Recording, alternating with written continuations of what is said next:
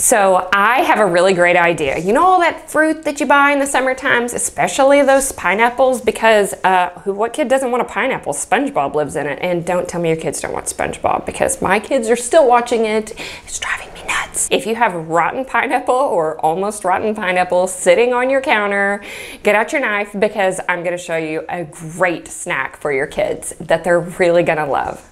Your full supply list as well as the blog post are both linked below. So the first thing I'm going to show you how to do is how to break down a pineapple. So simply just cut the base off, cut the top off, and discard. I'm sticking it in my little trash bowl over there. Thank you, Rachael Ray.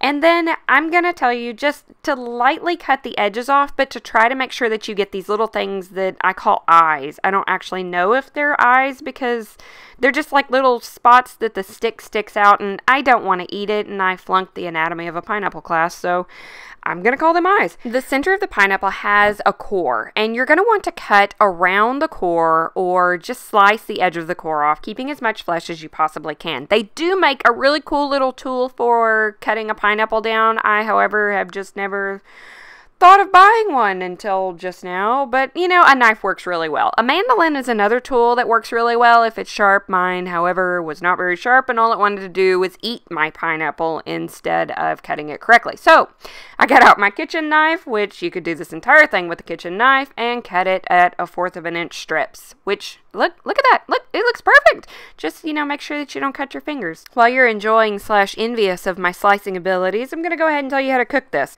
so preheat your oven to 175 degrees. That's 175. Right. Yes, that's right. For eight hours, you're going to cook it. So get cookie sheets and either those slip match, which by the way, I love the slip mats or wax paper. Line it all around. Just, I mean, just give them enough room. That way you can go ahead and flip them several times while they're cooking. If you are using a dehydrator, you're going to cook it at 135 degrees. I usually cook it for 24 hours because we like them crispy. And a little secret, I also try to hide it from my kids. I know that they can hear the dehydrator, but this one doesn't make that much noise.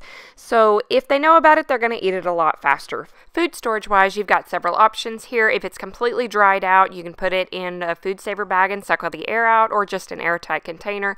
If it's chewy, it doesn't seem to last as long, so an airtight container on the table seems to work the best at my house, and let me know what works at yours. I hope this video gave you lots of ideas of other things that you can dehydrate, like apples or peaches or oranges. By the way, I've never dehydrated an orange, so if you do that, let me know.